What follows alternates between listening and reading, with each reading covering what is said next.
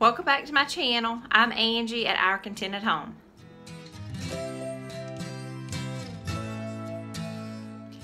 I am so excited about this week's video. I recreated some beautiful vintage bird prints and I did it for a whole lot less. So I've been doing a bedroom refresh and hopefully I'll have that video up next week so you can see all that I've done. These, I've been looking at these vintage bird prints for a long time and they are very, very expensive. And I just couldn't justify spending $400 on four bird print. And so I kept looking at it and I thought, I can recreate that for a lot less money. I recreated these for $20. All I had to buy were the picture frames because I had everything else laying around. If you recreated this and used everything that I did and had to buy everything, it would cost you around $53, but you would still have a lot of the supplies to use for other projects. So I'm gonna take you along and show you how I did it. Please let me know how you like it. Leave me a comment and let me know how you like it. And I hope y'all enjoy. This was my inspiration that I found on the Michaels website for $414. These are the prints that I found on the internet. I'll leave a link in the description box below where you can find them too. I don't have a video of me cutting these down to size, but I cut them down to about 5 by 7 size. And I'm folding down the edges because I want that uneven edge. And this way it'll kind of help me um, tear the right amount off.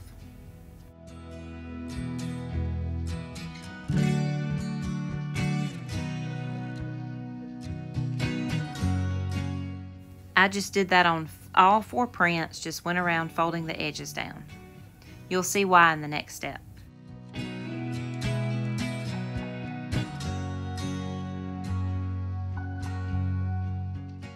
So this is how I'm going to give my prints that uneven look on the edges. I just, after I folded them down, I just put water on that fold and then go back and tear it off and it'll tear off unevenly and just look old, aged, and beautiful. Just do this step slow and carefully so that you don't tear the rest of your print. It shouldn't tear, but just be extra careful.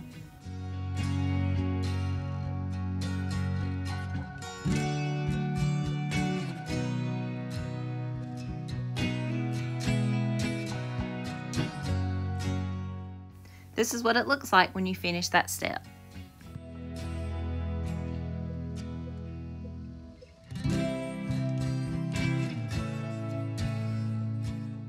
The next step is to paint your frames. Maybe you can skip this step. I wanted to wax mine and so I went ahead and just painted a coat of black paint on mine so that the wax would stick on it better. My inspiration pick, the frames that they used were wooden and I need black in my bedroom so I'm just painting mine black but you can do yours wooden or white or any color that would match your decor.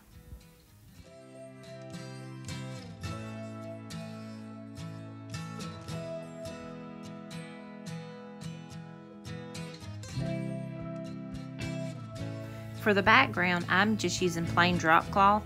And I've just had this sitting around because I paint a lot and so I use it um, under my furniture. But I just took the back of the frame and just cut a piece of drop cloth to fit it and just cut out four of those because I'm using four frames.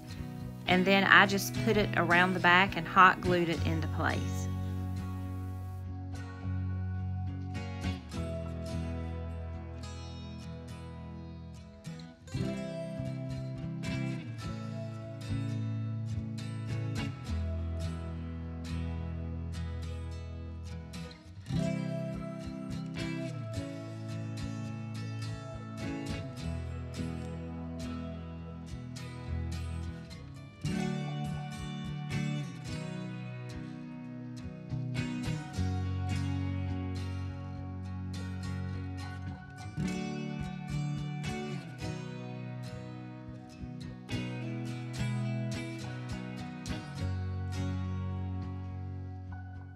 This is what it looks like on the front. I think it turned out beautiful. This next step is optional. I'm just rubbing white wax all over my frames to give them that vintage look, but you don't have to do that.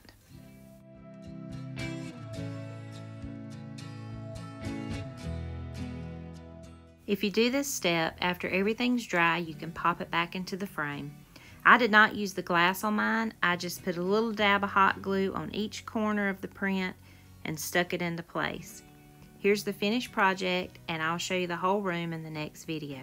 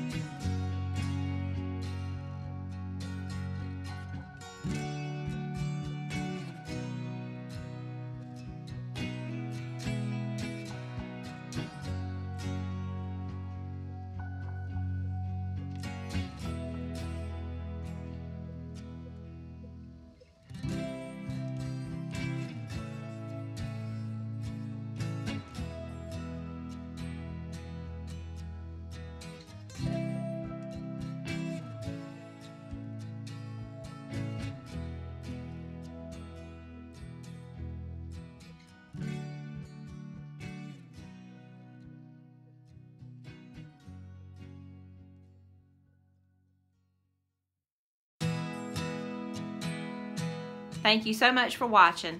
If you're new to my channel, I would love if you would hit the subscribe button. You can also find me on Facebook and Instagram at Our Contented Home. See you next week. Bye-bye.